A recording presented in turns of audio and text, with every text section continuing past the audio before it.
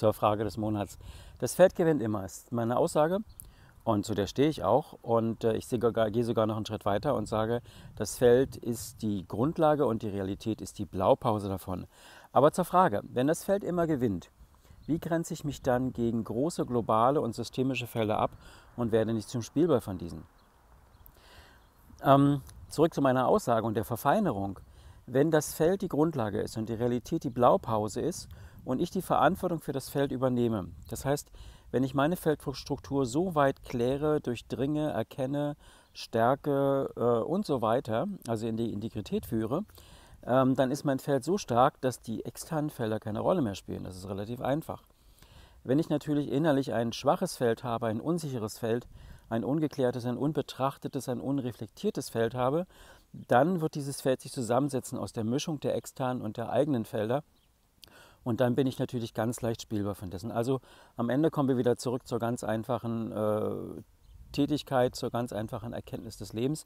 Nämlich, wenn du dich selber erkennst, also dein eigenes Feld, deinen eigenen Willen, wo bist du, wo bist du zu Hause, wer bist du, bist du auf deinem Weg, bist du in deiner Anbindung, dann klärt sich automatisch dein Feld und mit der Klärung wird dein Feld stärker, dein Leuchten wird wieder stärker, so wie ja bei ungeborenen und frischen Babys ja das Feld noch sehr stark ist, sie leuchten noch sehr stark, was später nachlässt. Und wenn wir das wieder zurückholen, dieses Leuchten zurückholen und in uns, auf unserem Weg und in unserer Anbindung, also diese drei Punkte, äh, zu Hause sind, ist unser Feld automatisch so stark, dass es dann nur noch eine Frage ist, für welche äh, Erfahrung ich mich entscheide, bewusst oder unbewusst.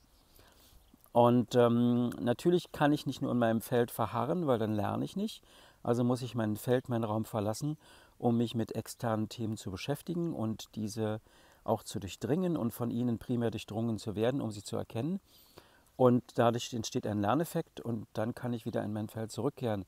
Das geht aber natürlich viel besser, wenn das eigene Feld stark und klar ist. Dann ist dieses Zurückkommen ins eigene sehr leicht. Also insofern, ja, es gibt natürlich große systemische und globale Felder, aber wir bleiben mal bei der Eigenverantwortung.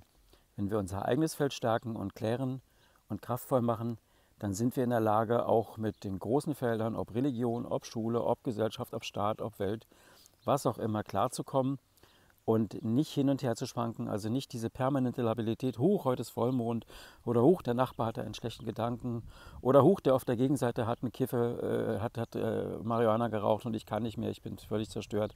Das hört alles auf. Das ist ja auch die Folge der Instabilität des Feldes. Das heißt, die Hochsensiblen sind eigentlich eher Menschen, die zwar diese Sensibilität haben, aber die eigene Feldstruktur noch nicht so weit geklärt haben, dass sie mit dieser Sensibilität auch in dieser Welt ganz normal klarkommen. Und deswegen bleibt es wieder bei der primären Aufgabe, eigenes Feld durchdringen, klären.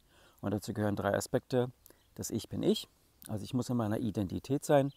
Das zweite ist, ich muss auf meinem Weg sein. Und das dritte ist, ich sollte mit meiner Angebundenheit verbunden sein und nicht irgendwelchen anderen Angebundenheiten anderer Menschen. Und da liegt, glaube ich, mit das größte Problem. Aber gut, dafür haben wir in der Weißen dran zu arbeiten. Gut.